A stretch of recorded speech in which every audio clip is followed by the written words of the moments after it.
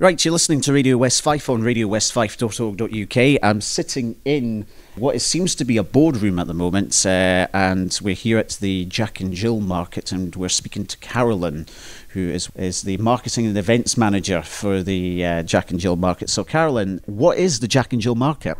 The Jack and Jill market is Scotland's quality baby and children's market where you can sell on quality, nearly new items.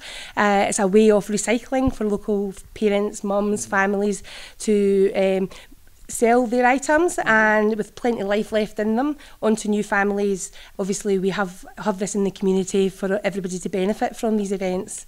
And what range of products do you have? Is it ranging from baby foods to other baby care products? Well, what we do is we it's anything really from age zero to up to nine years old.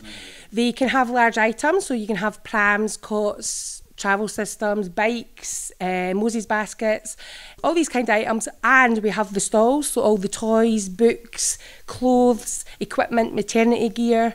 Um, you name it, we cover it. As long as it's anything to do with baby and children's items, zero to nine, and, and maternity stuff we sell here. What's the typical response for uh, these sort of markets? Is it incredibly popular or does it vary from area to area? Um, they're becoming very, very popular. We've got a huge demand. We're setting these markets up now throughout Scotland mm. uh, due to the demand. Um, and we find that um, it's now the, the new trendy way, really, to shop.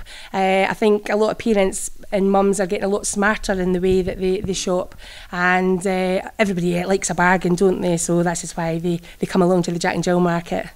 Everyone loves a discount. Speaking of the um, the Dunfermline market today, how's that been today so far? You've only just been doing this for about an hour, an hour and a half, I believe. Yeah, very busy, very busy. We had a big queue this morning uh, that we quickly got in within a couple of minutes. Uh, it's very busy. It's keeping up and uh, it's buzzing on the on the shop floor at the moment, and it's constant. We're getting people coming through every minute, every minute of the hour. We're we're getting lots of people through. It's very busy. Yeah, we had a lot last month, and we think we're probably going to be on record again this month to, to to get over 500 anyway, nearly 600 people through. As you were mentioning, you do uh, markets throughout Scotland. There, there are a, few planned in the future, aren't there? Yes, yes. Tomorrow we have one in uh, Livingston. We've got Dundee tomorrow as well. We are uh, in the process of trying to get one set up in Glenrothes and Kirkcaldy, but we're looking for a suitable venue. We have them in Perth. We have them in Stirling, Falkirk, Grangemouth, Edinburgh, Glasgow we're all over Scotland and we're adding, we've just added Aberdeen, we'll soon be going to Inverness. So yeah, the demand is there and we're, we're spreading ourselves out as fast as we can to help. From what you're telling me, it sounds like you're a newly started business or you've... Yeah, um, uh, Nicole Diamond, who's the director uh, of the, the, the brand, uh, set this up. Um, and I think we've been in Dunfermline now, maybe uh, a year now, maybe we've been here.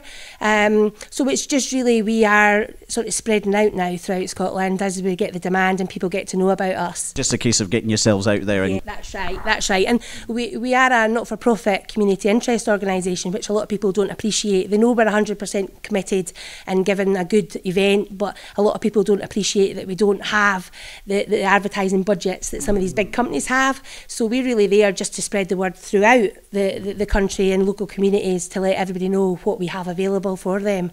And if we want to find out more about the Jack and Jill markets, um, how can we find out? Right, well, we've got a website, um, jackandjillmarket.co.uk and we're also on Facebook and we're on Twitter. And you can all go, also sign up for market alerts. Um, you could do that through the website. And we uh, notify people in a weekly email uh, advising them of new markets new locations that have been added on. And um, you know you get kept in touch on new bargains new competitions that we might have running at that time uh, you mentioned that you had a Facebook and Twitter there. Uh, how's the response been on that uh, so far? Very good, yes. I think we've got over 4,000 uh, followers at the moment, um, and it's growing, obviously. Um, and Twitter, we're quite new to Twitter, so we're just yeah. really getting into the Twitter uh, at the moment. But uh, yes, it's, we get a lot of interest, especially after a very good event. We get a lot more people coming on and joining on board, so it's really good. It's really, really good. Really good timing as well, especially they Took Gallows on. That's right, that's right. That was just a coincidence. I hadn't appreciated that the Took Gallows on this afternoon, but it's not clashed yet with our event this morning. It's, it's helping to get the customers in. Yes, yes, definitely, yes, yeah. So, Carolyn, uh, thanks very much for coming on to Radio West Fife to talk about the Jack and Jill market. Thank you very much. Thanks very much, and we hope to see you one day at one of our Jack and Jill markets.